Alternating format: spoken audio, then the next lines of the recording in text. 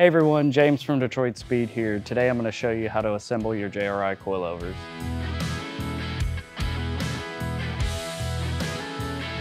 Remove the shock dyno sheets from the shock body. Have the coilover springs, Torrington bearings, and high pressure grease ready to assemble the shocks. Remove the spring seat from the retaining ring. Move it down off the shock mount Remove the retaining ring from the shock mount and pass the spring seat over the shock mount.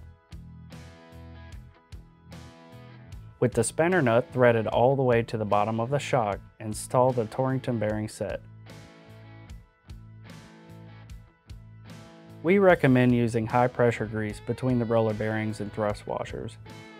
The roller bearing should be between two of the thrust washers. Install the set over the shock mount and onto the spanner nut on the shock.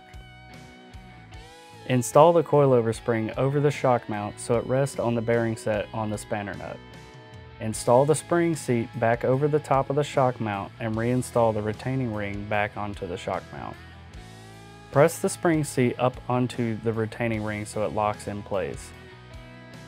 Thread the spanner nut up to the spring so it stays in place on the shock. Repeat this process for the other coilover shocks and spring assemblies. If you have any questions about your JRI coilovers, feel free to call us at 704-662-3272 or email us at tech at detroitspeed.com.